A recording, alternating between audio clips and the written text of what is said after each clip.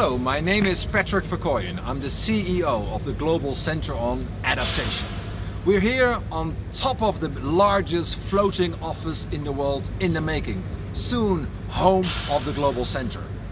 This floating office will be launched on the occasion of the Climate Adaptation Summit on January 25, 2021. Why is it important? The summit brings together world leaders, leaders from private sector, civil society, mayors, to bring new commitments to accelerate adaptation action at scale and speed.